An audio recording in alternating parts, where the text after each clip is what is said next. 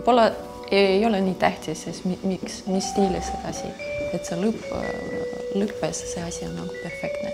minu jaoks on väga tähtis. mõttes, et see inspiratsioon, kui, kui ma otsin inspiratsiooni, siis äh, minu jaoks on nagu kõige huvitavam moment, kui sa leiad igasugused mõtted, kas sa teed, sa teed esimesed kollaažid, värvid, võib-olla muusika, võib-olla sa vaatad mingit filmid ja siis ma arvan, see on kõige viimane moment, et äh, kui sa näed, see tervislik, et see asi juba sündis ja kuidas see kõik nagu välja näeb. ja tegelikult selle kollektsiooni nimi on Superbia.